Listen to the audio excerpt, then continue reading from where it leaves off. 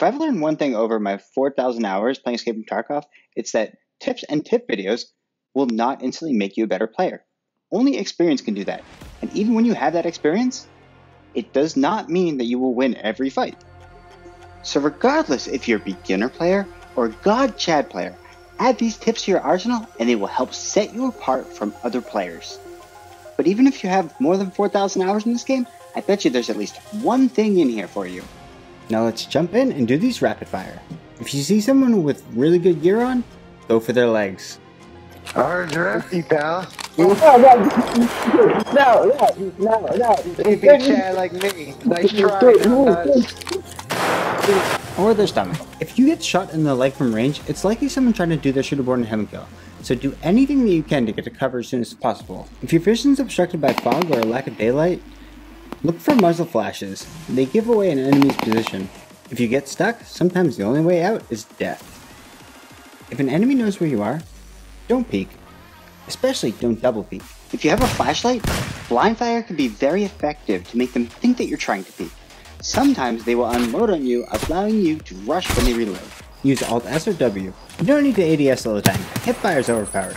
Skill levels cap at level 51, where you get an elite bonus perk. However, certain stims can bring you over that level 51 limit, up to 60, but you do not get that elite bonus perk. If you go in overweight, you can still get a fair amount of endurance points by dropping your gun and potentially your armor so that you go underweight, and then running a full sprint. If you see an AI scav shooting another scav, that means they're a hostile scav and they've killed other scavs. You can shoot them, loot them, and take all their stuff. You gain fence rep for killing PMCs or hostile scavs while you're a scav. If you can't tell where sound is coming from, tilt your head to the left and the right, and it should appear more noisy in one ear than the other, it really helps you pinpoint the direction of your enemy. If you've enjoyed this video this far, smash a like out of that shit button and subscribe because there's a lot more coming. When you hit a landmine, go back the way you came. Don't heal up and just try to get through the minefield. You'll end up dying from full health eventually.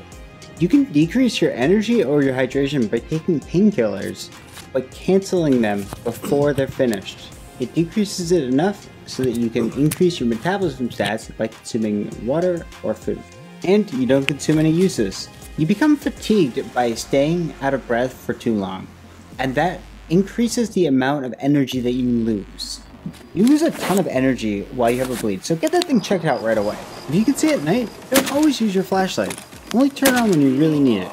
If you're not sure whether something's an NPC or a player, Toss any kind grenade in their direction and you'll find out. Around any corner could be a rad-ass enemy, so don't become complacent. If you're running with a squad, don't all stand next to each other. One grenade or mag dump could take out you all.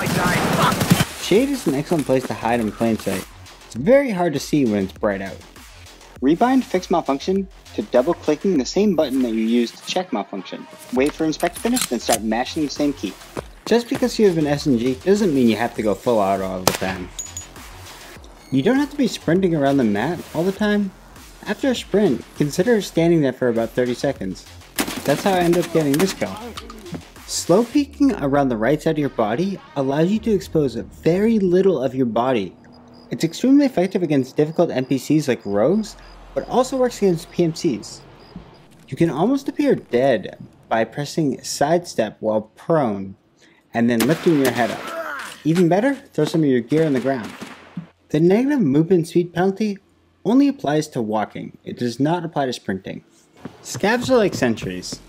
If you see someone kill one right in front of you, just wait there and they're likely going to pass you. If you're overweight, you can end your sprint without making a big screech by pressing in the shift key again to stop. If you don't, you make a big screech. If you're out of breath, you're not going to be able to hold anything straight until you regain your breath.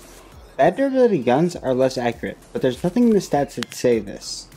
At 150 meters, zero the same and with the same scope, the one on the left is the low durability one, and the one on the right is the 100% durability gun.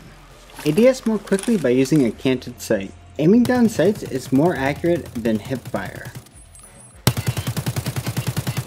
But using a laser or many types of flashlights is better than hip firing without them. Standing is less accurate than crouching when firing, and crouching is less accurate than going prone while firing. It's actually a pretty big difference. Put flashlights on the right side of your gun for your right side peeks. Different guns have different default calibers, which are used as the basis for zeroing, which you can do when zooming by pressing page up and page down. It's pretty complicated, but as a general rule, the default caliber is what you use to zero your gun, and differences in the muzzle velocity and the ammunition that you're currently using compared to the default caliber need to be compensated for.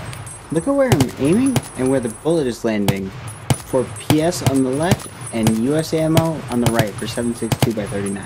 If you enjoyed this video, smash the like out of that shit button, subscribe for more Tarkov content in the future, and I will see you on the battlefield. CZTL out. Nice try, Nuts. Ha, got him.